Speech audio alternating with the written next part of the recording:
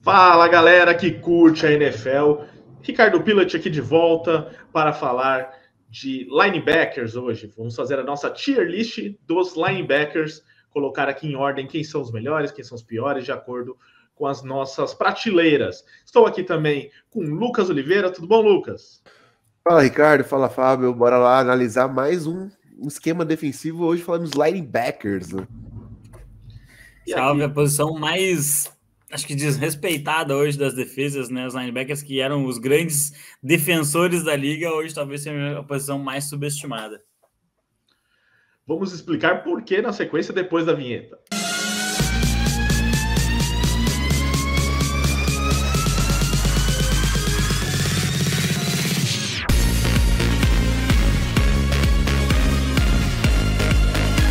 Aproveitando, né, que você está aí no começo do vídeo ainda, tal, naquele ânimo todo, então já aproveita para deixar seu like, muito importante, deixa o like agora. Dei daí três segundos para você, espero que você tenha deixado o like. Aí depois disso, dá uma olhada se você já é inscrito no canal, se não se inscreve, ativa o sininho, porque aí você recebe as notificações no seu celular assim que tiver um vídeo novo no The Playoffs. É, deixa também nos comentários, né? Primeiro assiste o vídeo, depois nos comentários você diz se você concorda com a lista, que jogador você mudaria de posição, que outros é, tipos de vídeo de NFL você gostaria de ver aqui. Deixa tudo nos comentários. Mas primeiro tem que deixar o like. Espero que já tenham deixado. Então vamos lá, começando aqui com a nossa tier list, colocando na tela. É, então, explicando, né? Para quem viu o último vídeo, tá exatamente igual, mas caso você não tenha visto, eu vou explicar novamente quais são as prateleiras temos aqui a prateleira Elite, autoexplicativa, os melhores da função. O ótimo, aquele jogador que é que pode ser elite um dia, ou que já foi, mas não é, não é no momento. Temos o bom contra o passe, que é aquele jogador que ajuda na pressão ao quarterback adversário, que isso é muito valorizado na NFL, né? Afinal, é uma liga de quarterbacks, então se você consegue é, minimizar o impacto do quarterback adversário com diversos jogadores da defesa, é muito importante, inclusive com os linebackers o bom contra a corrida, que é aquele jogador que se posiciona mais e acaba é, sendo mais importante em impedir os running backs adversários de ganharem mais jardas. O soft, que é aquele que o Fábio já disse outra vez aqui, que bate fofo, né? Que é aquele que às vezes você, é, que o running back quebra muitos tackles né, na hora que passa por ele. Então é esse tipo de linebacker que a gente está falando. E o Bagre, um dos que significa um dos piores da posição aqui nesse caso. É, então, só para antes de começar nos jogadores, o, o, Fábio, você quer explanar rapidamente sobre por que, que você acha que os linebackers hoje são desvalorizados na NFL? Então, Ricardo, é justamente porque a gente vive uma liga de muitos passes, né? Como a gente tem um, um, um decréscimo, né? A NFL é uma liga de confrontos, né? Então, você tem o L versus DL, você tem running backs contra linebackers e wide receivers contra defensive backs. E como a gente tem uh, uma liga que passa mais a bola e valoriza menos seus running backs, os linebackers vezes acabaram perdendo um pouquinho de valor. E eu acho que também envolve o fato de a gente estar tá vivendo um momento uh, de muita adaptação da posição, né? Tem, a gente tem muitos safeties que estão virando uh, weak linebackers, ou até mesmo linebackers propriamente ditos. E, e, eu acho que é uma posição que ela vai ter que. É, é, ela ainda vai produzir muitos bons jogadores, mas a gente está num momento de entre safras, vamos colocar assim. Isso, posto, vamos então à nossa lista, começando mais uma vez com a EFC Leste. E aqui começamos pelo Buffalo Bills de Matt Milano. Lucas, você abre os trabalhos aqui, colocando Milano na sua prateleira favorita. Cara, eu gosto muito do Milano. Acho que com a saída do, do Edmonds, uh, ele é um cara que vai ter um trabalho essencial nessa, nessa defesa do Buffalo Bills. Acho que eu vou abrir a prateleira dele como ótimo para 2023. Eu não sei exatamente como é que ele vai reagir com a saída do Edmonds, né? Acho que isso vai acabar impactando um pouquinho a forma como a defesa dos Bills vai se posicionar, mas eu espero um ano de elite dele. Eu espero um ano de elite. Acho o Matt Bland um linebacker espetacular e tem boas habilidades de cobertura, tem ótimas habilidades contra a corrida, é muito agressivo, consegue pressionar, acho ele bem completo, vou colocar ele como elite. Talvez seja o, menos elite dos elites aqui que eu vou colocar, mas eu espero um ano de alta produção do Milano. Ah, mas logo no começo vocês já querem me complicar aqui, tendo que escolher a prateleira. Olha, para não ser incoerente, eu vou usar o mesmo argumento da última tier list da, dos jogadores de linha defensiva, que eu, eu vou preferir esperar um pouco os próximos jogadores, então vou deixar ele como ótimo apesar de também gostar muito do Milano e em teoria também acho ele elite. Mas eu queria dar uma olhada no cenário aqui, para até pelo que o Fábio falou, né? O menos elite dos elites. Então, vou deixar ele em ótimo aqui, em primeiro dos ótimos, e a gente vê daqui a pouco se sobe para elite. É, então, seguindo aqui para o Miami Dolphins, que tem o Jeremy Baker como o nosso linebacker escolhido, Fábio. É, então, novamente, né, chegando do Vic Fangio lá em, em, em Miami, estou esperando bastante. É um time que tem um ataque que produz bastante, e isso ajuda a defesa a descansar, poder jogar com mais explosão. Eu vou colocar que eu espero um ano ótimo de Jeremy Baker, muito por conta dessa chegada aí de, de, de grandes jogadores, né? O Ramsey está lá também, então talvez a gente tem aí um pouquinho mais de produção defensiva um pouquinho mais de consistência, né? Miami pecou muito na consistência defensiva, jogava bem dentro de casa, jogava muito mal fora. Eu acho que esse ano vai ser mais equilibrado. Ah, o Baker é um cara que produz muito bem. Uh, com a chegada do Vic Fangio, eu acho que vai, vai ter um incremento muito bom nesse jogo. Ele é um cara que controla muito bem o miolo da, da defesa dos, dos Dolphins. Mas eu acho que ele vai ter um ano bom contra o Prasse em 2023. Não, vocês estão de brincadeira, já querem me complicar nas duas primeiras. E aqui eu vou com o Fábio para ele ficar feliz, né? Na primeira já discordei, então. É... Fábio, vou com você aqui colocar o Baker na prateleira de ótimo dessa vez. É... Fábio, você também começa aqui com o próximo da lista, que é o Jahawan Bentley, do New England Patriots. Onde você coloca? Bom contra a corrida. É isso que eu espero do ano dele mano, bom contra a corrida. Eu acho que os Patriots uh, estão próximos de uma profunda mudança de, de, de, cenários e, e eu acho que a falta de produção defensiva esse ano talvez seja um, um, um dos fatores que vai, vai forçar isso. Concordo. Acho que ele é um cara que tem muitos tackles, uh, às vezes precisa de certa ajuda da defesa, mas é um cara que é bom contra a corrida. Na sequência, CJ Mosley, do New York Jets, Lucas. Ah, essa defesa do, dos, do, dos Jets tendo aqui no Williams, eu acho que o CJ Mosley vai ter um ano bom contra o passe em 2023. CJ Mosley vai ter um ano ótimo, na verdade, né? Um jogador All Pro First Team em 2022, então acho que em 2023 ele vai voltar muito bem, vai produzir como, como um, um ótimo linebacker. É, ano passado ele acabou ficando marcado por conta de uma péssima decisão que levou os Jets a perderem um jogo, né? Ele acabou cometendo uma falta estúpida mesmo. Mas neste ano eu acredito que, que o CJ Mosley vai, vai jogar muito bem. Essa defesa como um todo eu acho que vai jogar muito bem. E o fato de ter um quarterback nos Jets que não tem há mais ou menos uns 50 anos, eu acho que vai ajudar bastante. Então sobra para mim desempatar mais uma vez. Nessa eu também vou com o Fábio, porque eu gosto muito do CJ Mosley, apesar de já ser um jogador mais veterano. Chupa, Lucas. É... Começar a competição aqui, né, do desempate. É... Fábio, então começa aqui a IFC Norte com o Roquan Smith, por favor. Complicado, né? Parece que só tem bom jogador nessa lista. Eu gosto muito do Roquan Smith desde os tempos dele de Georgia. Acho que é um jogador bem completo, bem completo mesmo. E numa defesa que eu espero uma produção bem elevada, eu vou colocar o Roquan Smith como um linebacker. Acho que vou colocar ele como elite, um ótimo elite, elite ótimo por aí. É, é, é, complicado, né? Porque quando você pensa elite, você pensa Fred Warner, né? Mas eu vou colocar o Rocco Smith como elite, porque ele é um dos melhores linebackers da NFL e eu espero uma produção em altíssimo nível é, do novo, do novo manda-chuva da defesa dos Ravens, né? Questão de produção, concordo com o Fábio. Como, como atleta em si, a gente não está avaliando, a gente está avaliando a produção para 2023, e em 2023 acho que ele vai ter um ano elite. Deu uma cornetadinha aí, né? É, aquele morde a sopra de leve, né? vamos ver. Então, mais no fim concordou, então vamos de elite. É, seguindo aqui na lista, o Jermaine Pratt do Cincinnati Bengals, Lucas. Ah, Jermaine Pratt ele vai ter um trabalho de bom contra o passe por conta da, do safety que o time perdeu e porque ele vai ter uma linha defensiva que pressiona muito bem a, o ataque adversário. Eu vou concordar com o Lucão aqui. É, bom contra o passe. Vou colocar ele como bom contra o passe. É, não sei muito bem o que esperar dessa defesa, apesar de eu achar o coordenador dela um dos melhores da NFL. Faz ajustes muito, muito, muito bem no intervalo, sempre voltam muito bem. sei o que esperar ainda, mas vou colocar bom contra o passe, acho que tá, tá um parâmetro legal para ele. Seguindo aqui, vamos para o Cleveland Browns dele, um dos nomes mais difíceis da NFL, mas vou arriscar aqui, hein? Jeremiah Ouso Coramoa. Acho que acertei, hein? Então, o nosso joke, Fábio. Prospecto muito badalado quando saiu do college, né?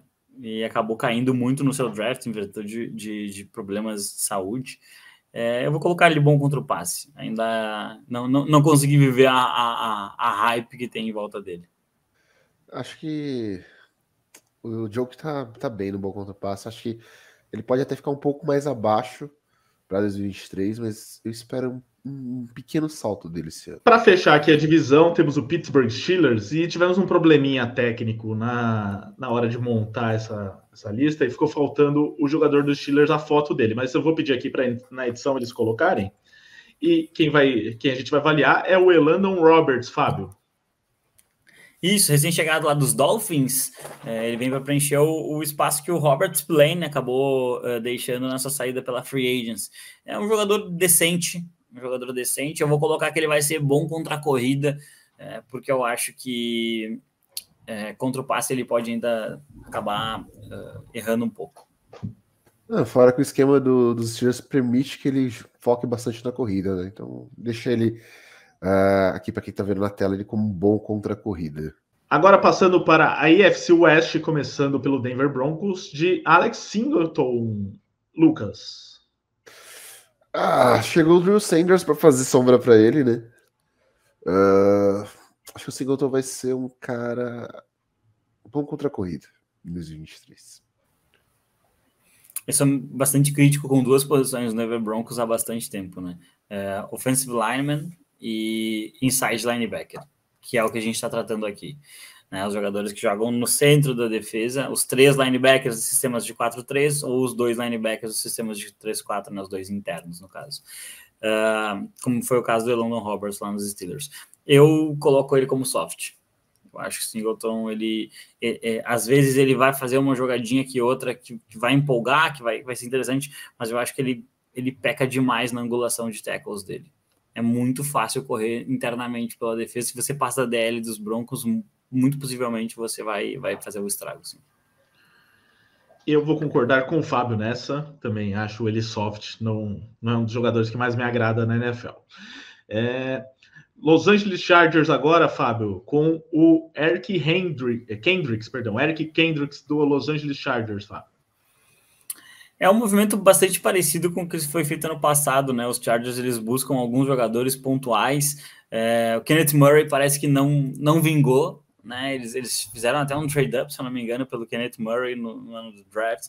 É, e o Kendricks ele é um jogador, ele já foi de elite. Eu espero que ele tenha um ano é, bom contra o passe lá em Los Angeles. É, talvez até ótimo, porque ele realmente sabe os atalhos, mas ele, ele não é um jogador que vai conseguir produzir num nível de, de muito elite lá, não.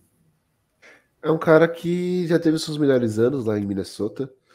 Uh, com os problemas que o time dos Chargers tem, acho que um bom um ano bom contra o passe vai ser interessante para ele. Então fica aqui. E para fechar a divisão, é, o Robert Splaney, do Las Vegas Raiders. É, vou deixar o Lucas começar para o clubismo ficar para daqui a pouco, Lucas. Cara, é... tá aí uma boa questão. Acho que não... o corpo de linebackers do, dos Raiders não me agrada tanto. Uh, mas eu não vejo ele como um cara bagre. Talvez acho que, acho que ele vai ter um ano soft, pra ser bem sincero. Assim.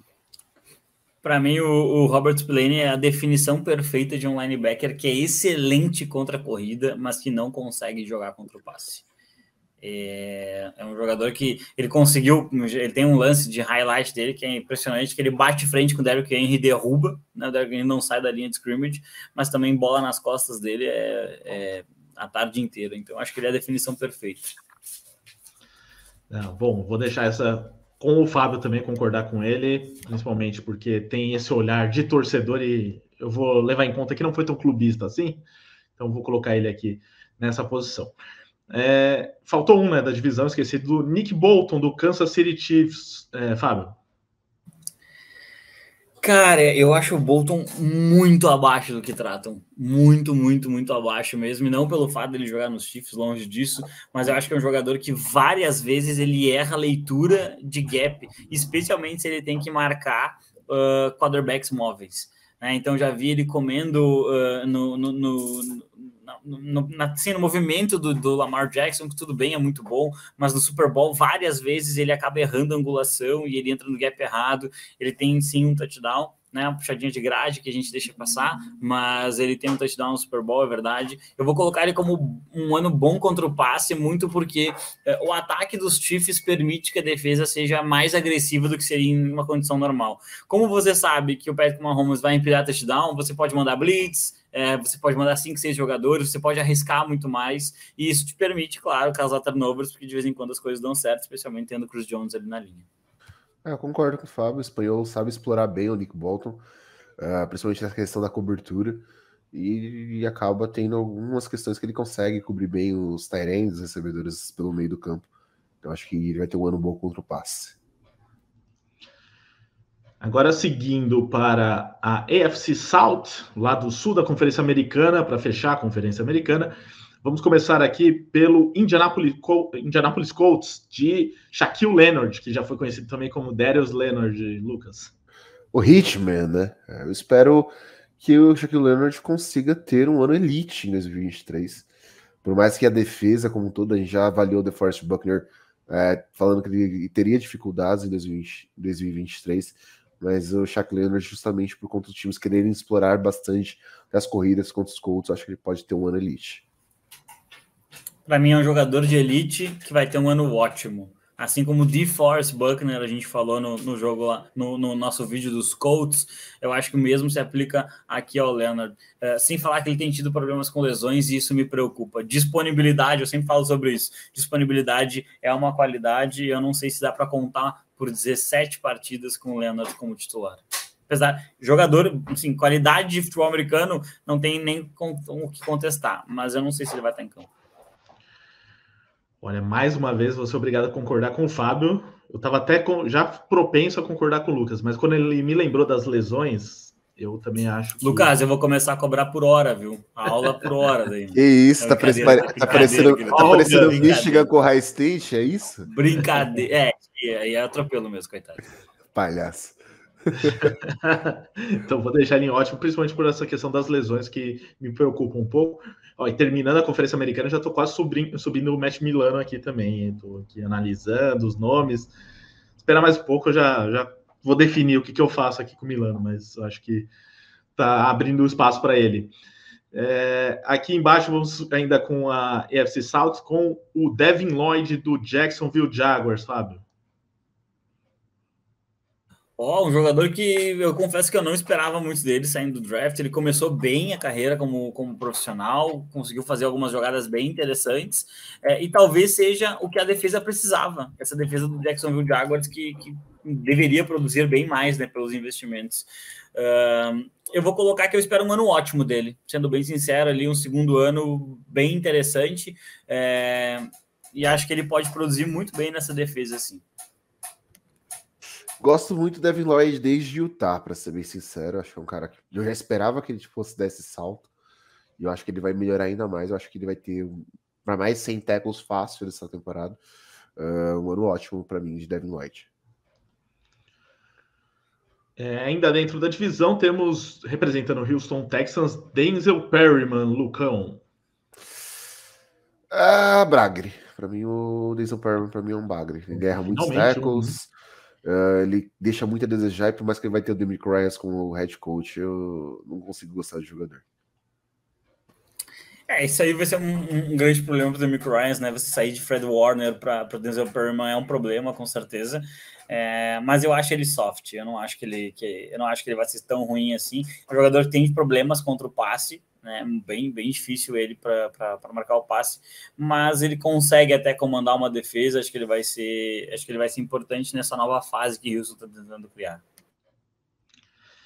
Eu vou colocar ele em bagre só para dar uma organizada aqui, né? Para todo mundo ter uma, uma prateleira. Então vou deixar o, o Perman aqui. É, e para fechar a divisão, temos o Aziz Al-Shair do Tennessee Titans, Fábio. Excelente jogador, né? Excelente jogador, fez, um, fez uma carreira interessante ali nos 49ers, mas você não tá mais jogando com o Fred Warner, né? Então não, as coisas não são mais tão simples assim. É, eu vou colocar ele como bom contra o passe esse ano, porque eu quero que ele se prove como, como um jogador que domine o meio de campo, sem necessariamente ter o melhor linebacker da liga do lado dele. É, eu acho que a equipe Tennessee como mundo vai precisar que ele comande essa defesa. Acho que um ano bom contra o passe para o vai ser o teto que ele pode chegar em 2023. Passando agora para a NFC, começando pelo Dallas Cowboys na divisão leste da NFC, com Leighton Van Der Esch, Fábio. Honestamente, eu acho ele um bagre. Eu acho ele um bagre. O Van Der Esch, ele erra, ele não, bom, contra o passe ele não existe, para começar, e contra a corrida, várias vezes ele erra demais o ângulo de tackle, assim, de eh, quando a gente fala em ângulo de tackle, né, você tem que entrar de uma certa forma para jogar o, o, adversário para trás.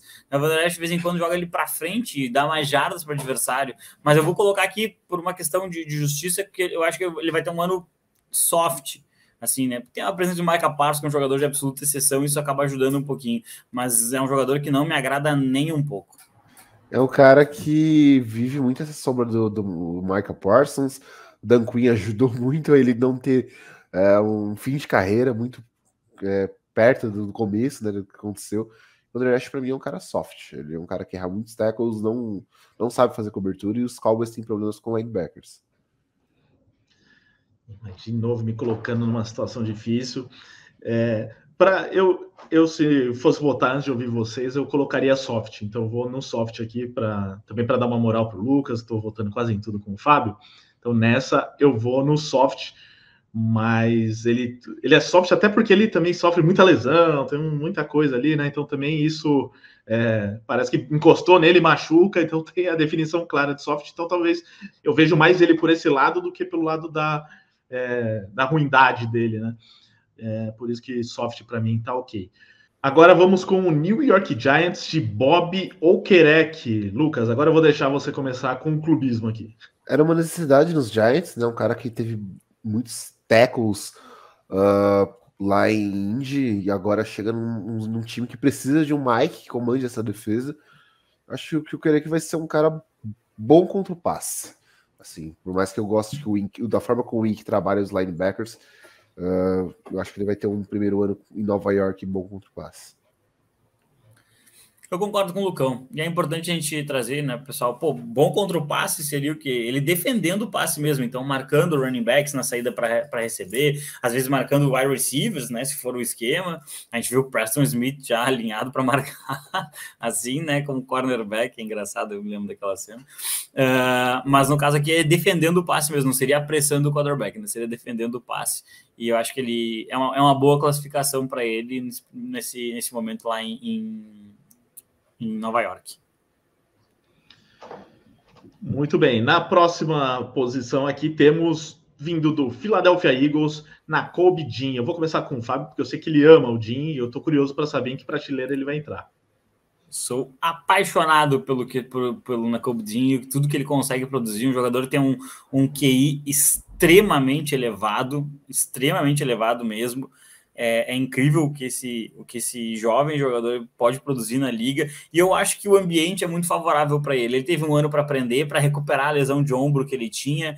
É, eu espero um ano ótimo do Jacob Dean, sou fãzaço desse jogador e acho que ele pode ser uh, um elemento de energia que falta no meio dessa defesa, né, no, no miolo defensivo do Philadelphia.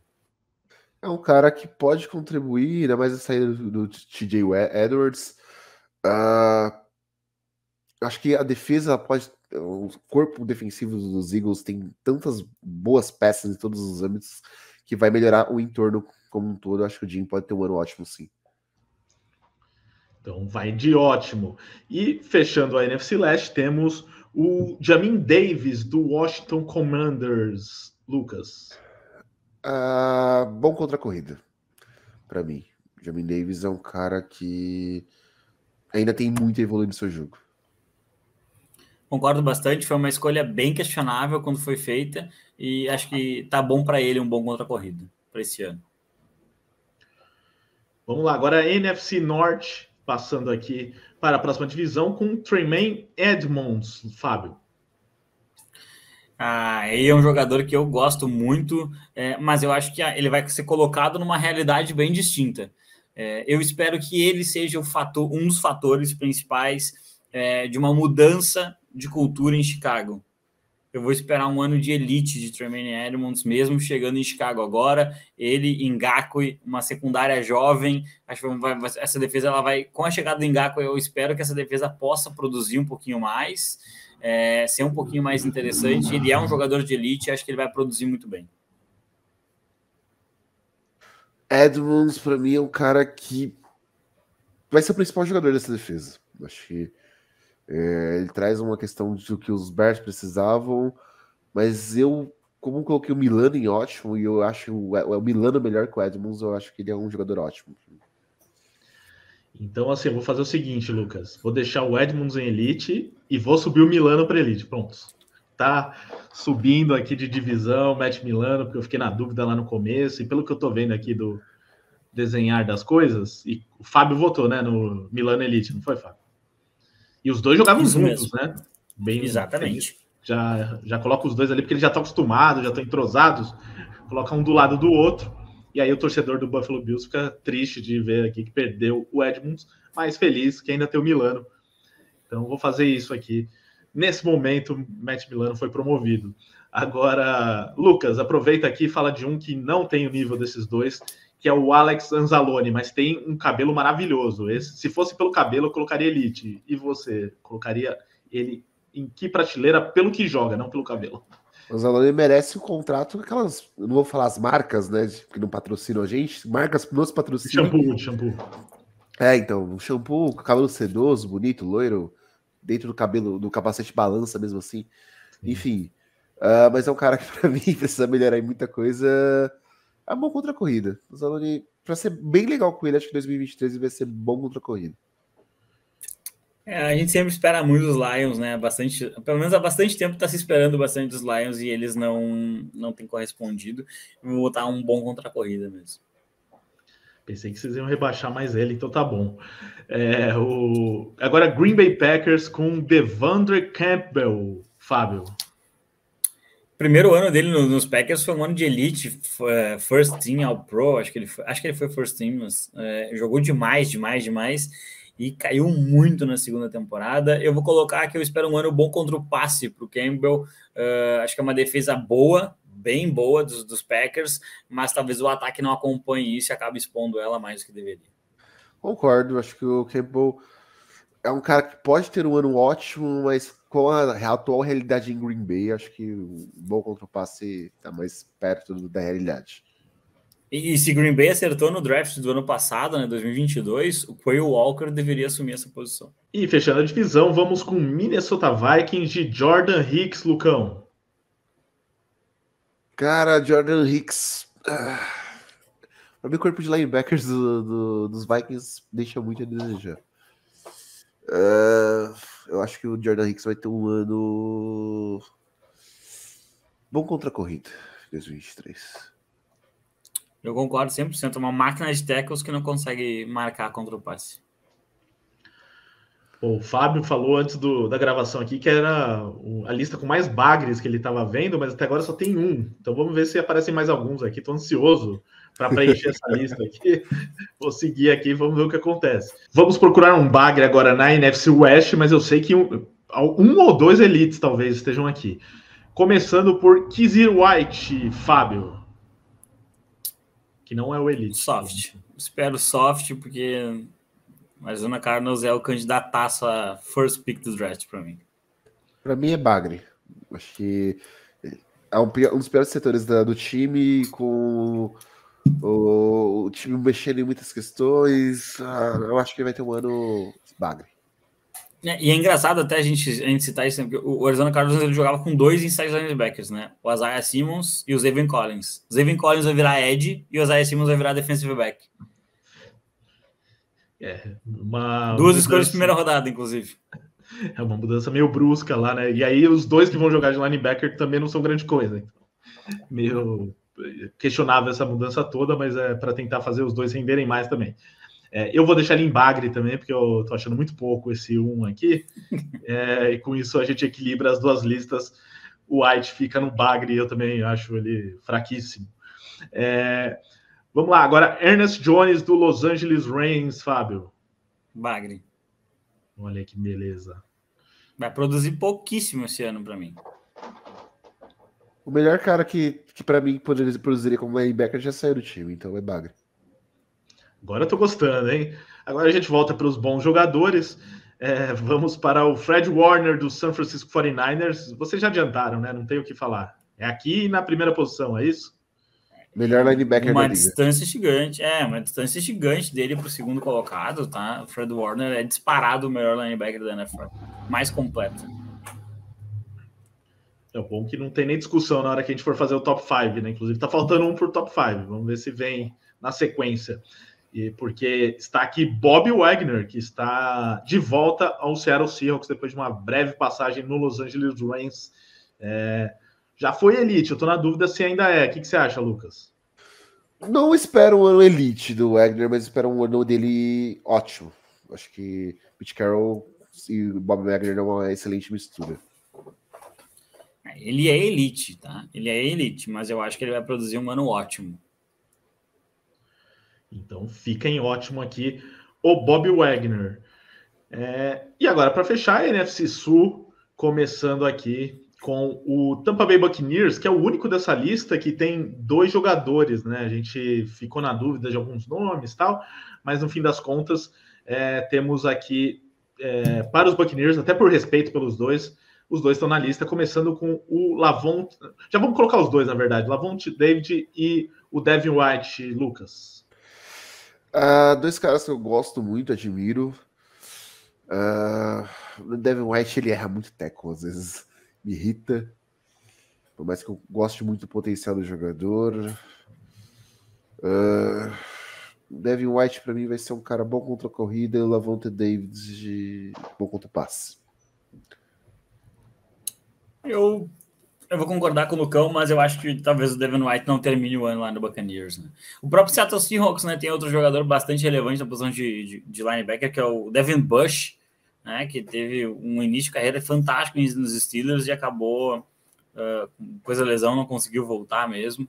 Mas acho que pegando os Buccaneers, uh, pode manter essa classificação do, do Lucas, acho que está tá bem adequada. Uh, e eu não sei até que ponto o Devin White vai, vai terminar o ano como um jogador lá do, lá dos Bucks. Você acha que ele pode ser trocado, é isso? Ele pediu, né? Ah, é verdade, né? Teve essa questão interna. É, agora, então, Atlanta Falcons com o Troy Anderson, que o nosso querido Jones garantiu que vai ser o principal linebacker da equipe, que vai brigar esse ano para ser talvez o defensor do ano, né, Lucão? Então, você concorda oh. com o Jones? Não, tackles ele faz a, a, demais, né? Agora, defensor do ano, aí não dá, né? Bom contra a corrida. Soft. Jones que me perdoe, mas para mim é soft também, viu? Jogador bem limitado. Mas beleza, o Lucas já fez a média com o Jones, eu e o Fábio não. É, pelo menos um, né? Garantiu essa média. É, Agora indo para o Carolina Panthers de Frank Luvo, é, Fábio. Ótimo, espero um ano ótimo dele. É uma, uma defesa que deve é, jogar acima do ano passado. Estou é, esperando bastante dessa defesa dos Panthers de verdade para 2023. Acho que tem um coordenador absolutamente excelente, consegue extrair o melhor dos seus jogadores e ele é um jogador que já teve uma certa produção na liga, então vou colocar ele como espero um ano ótimo dele. O cara que passou dos 110 tackles ano passado, quase 120. Espera um ano de produção acima de 100 tackles. Eu acho que é um grande defensor. É um ano ótimo para ele. Para fechar, o jogador que pode definir o emprego de vocês aqui, de acordo com a prateleira, vocês colocarem ele. que é ele, meu querido é, Demario Davis, jogador de qual eu sou muito fã no New Orleans Saints. Mas, como eu apenas desempate, vou deixar para vocês começarem. Então, diz aí, Fábio. Demario Davis, uh, por um respeito histórico, assim como fiz com Cam Jordan, eu vou colocar aí como eu espero o último ano elite, porque o senhor tempo tá chegando, né? Eu espero o último ano elite dele. É um jogador absolutamente diferente e, e muito responsável por uma defesa bastante dominante, que já era dominante quando o Drew Brees jogava lá. Pode ajudar um pouquinho o Derek Carr a voltar aos playoffs. Concordo com o Fábio, acho que o Demar David merece respeito, mas acima de tudo é um cara que produz muito bem e pode ser que seja o último ano dele como um, produção elite, assim, um cara que, que desempenha um papel totalmente fundamental em campo nessa defesa. Então, os dois estão com emprego mantido. Então, já fechamos aqui com um top 5. Tem alguém aqui do ótimo que vocês querem subir para Elite para fazer aí uma, é, uma análise comparando com os que estão ali? Ou a gente fecha nesses cinco mesmo? Acho que se fosse subir alguém, poderia subir o Bob Wagner por, uma, por, um, por um respeito histórico também, por tudo que ele já fez na NFL. É, seria o único jogador que eu colocaria ali que uma possibilidade, porque ele já sabe os atalhos, né? Então ele sabe chegar mais rápido. Concordo. Acho que ainda mais conhecendo o Pete Carroll e a forma como o, o head coach trabalha, acho que é um cara que, que pode sim ter uma produção elite ao fim do ano. É, eu também acho justo. Eu tô quase pensando em colocar o, o Leonard também para cima, mas beleza, esses seis aqui. Tá é, o Leonard é a, o argumento do Fábio, questão lesão, pesa muito, é. por mais que eu acho que ele é um dos grandes linebackers da liga. Saudável ele é elite, ele vai ter um ano elite. Se ele tiver saudável, ele vai ter um ano elite. Deixa ele em primeiro aqui para dar uma valorizada, né? Ele em primeiro dos ótimos. Mas é, a questão da lesão a gente tem que considerar que esses outros jogadores costumam ficar mais saudáveis, até eh, jogadores de idade mais avançada, como o Davis e o Wagner. Então, hora de definir o nosso top 5, a ordem aqui dos melhores linebackers da NFL. Lucão, começa aí pra gente. Primeiro Fred Warner e depois. Fred Warner por muito, muito mesmo.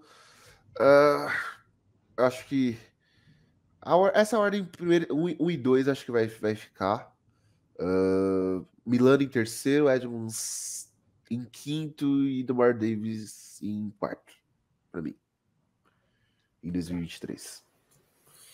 A produção para 23, vamos lá. Fred Warner, né? Número 1. Um. Vou ficar com o Rockland Smith em, em, em, segundo, Demario Davis, terceiro. Eu sou apaixonado pelo que esse cara oferece para o time. Eu vou colocar o Tremaine Edmonds aqui em quarto, porque eu acho que ele vai conseguir mostrar que ele é muito, muito, muito top jogador mesmo lá em Chicago. E vou deixar o Matt Milano em, em quinto. Tá certo. Eu. Eu vou. Para não ser muito clubista, eu vou passar só o Demario Davis para cá, porque eu gosto muito do Edmonds. Então eu acho que, que ele merece estar no top 3 aqui. Depois o Demario Davis e o Matt Milano, que eu ajudei a subir, completando aqui o top 5 e depois o, o Wagner como menção honrosa. Mas tá bom, né? Um ótimo grupo de linebackers nessa, nessa prateleira de elite. Então é isso, gente. Fechamos mais uma lista aqui, mais uma tier list do The Playoffs. Voltamos em breve com mais uma de defesa, né? Fizemos várias de ataque, algumas de defesa então, vamos caminhando para o final do nosso time, vamos para a secundária, que é um assunto favorito, um dos favoritos da vida de Fábio Garcia. Então, Fábio, nos vemos na próxima. Lucão também, muito obrigado. Obrigado a todos vocês que estiveram com a gente até o final dessa gravação. Lembrando, né? Tira o print, manda para os amigos, mas fala que tem um vídeo inteiro para assistir. Não adianta só ver o print no final, senão você não ia saber como o Matt Milano e o Bob Wagner pararam aí na, na prateleira de elite, né? Teve todo um processo. Então divulga para os amigos o link, fala para o pessoal assistir e aí vocês tiram suas conclusões. E claro, deixa os comentários depois de quem você concorda que está na posição certa, quem você discorda. Estamos sempre abertos a críticas construtivas. Não esqueça de deixar o like, muito importante para a gente. Se você não deixou lá no começo, deixa agora. É, se inscreva no canal, ative o sininho e também siga o The Playoffs nas redes sociais e acompanhe o site theplayoffs.com.br para toda a cobertura da temporada da NFL. Um abraço a todos, até a próxima.